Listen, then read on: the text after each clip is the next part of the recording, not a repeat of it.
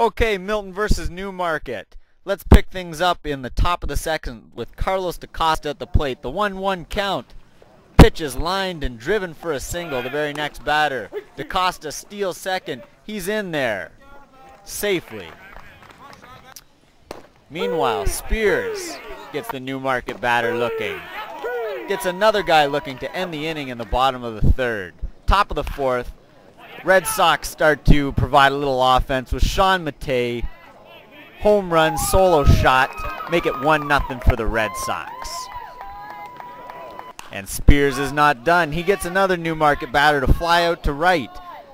Kurt stays with the ball, throws to second, just in time to get the advancing Newmarket runner called out on the play. Bottom of the fourth, Spears back at work, strikes him out to end the inning.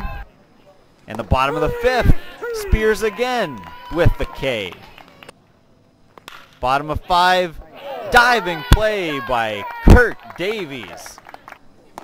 And bottom of the sixth, Spearsy again to end the inning. He's in complete control of this one. Top of seven, at it again, Sean Matei with his second home run of the game. Give him two RBIs. Bottom of the seventh, Spears, K's one batter. Spears again, K's a second batter of the inning. He's on autopilot, folks, here. This game's in the bag. K's his third batter of the game. DaCosta throws down to first. What a beauty. Spears, what a beauty game.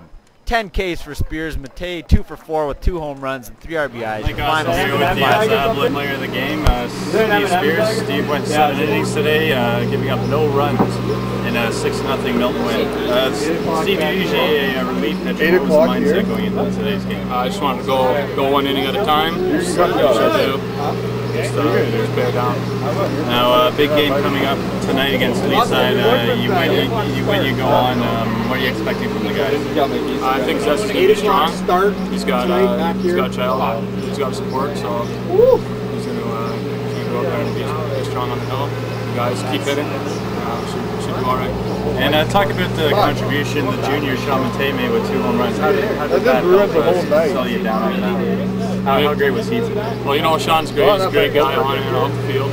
Uh, that, that home run in the, uh, I'm not sure what inning it was, but put us ahead, gave me a lot of confidence on the mound, and uh, really helped out a lot. It seemed like you were really attacking the strike zone today. Was that sort of your focus to not get behind and attack with strike one there? Yeah, it's always uh, key to get the first strike. Uh, Carlos called a great game.